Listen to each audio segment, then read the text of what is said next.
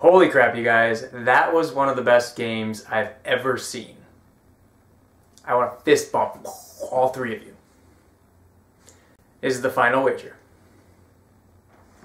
Alright, so here are the scores for our three players. Carlos in the lead with 19,600. Scott in second with 17.4. Tina in third with 16.2.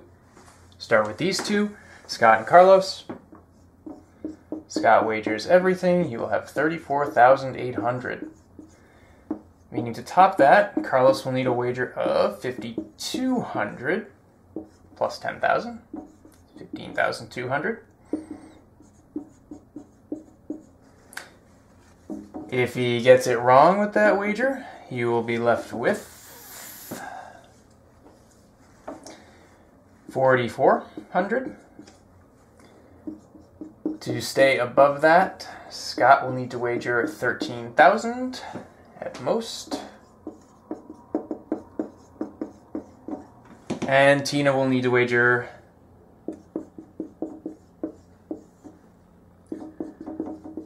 Eleven thousand eight hundred at most.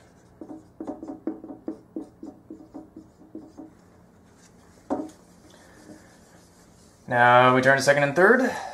Tina and Scott. Tina goes all in. She will have a total of 32,400. So to cover her,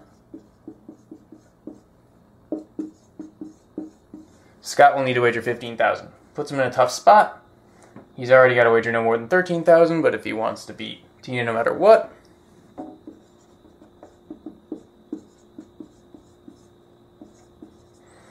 So that's his decision to make.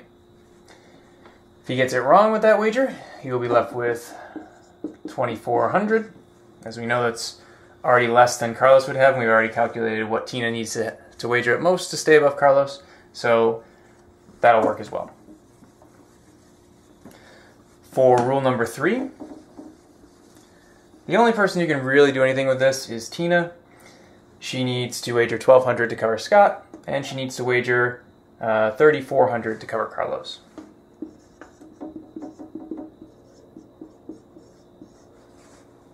So there we have it. As is fitting for these three players, all of them wagered properly. Congratulations, guys. That is an awesome game. We had a fairly long streak there of some very mediocre games three, four weeks ago. And it's really sad that all three of these players had to play at the same time because any of them, I think, could have been excellent champions. Yet you go into Final Jeopardy with one player having 16,200 and she's in third place. That is absurd. But that's the game and that's why a lot of us love it. Carlos, best of luck tomorrow. We'll see how you do on the final wager.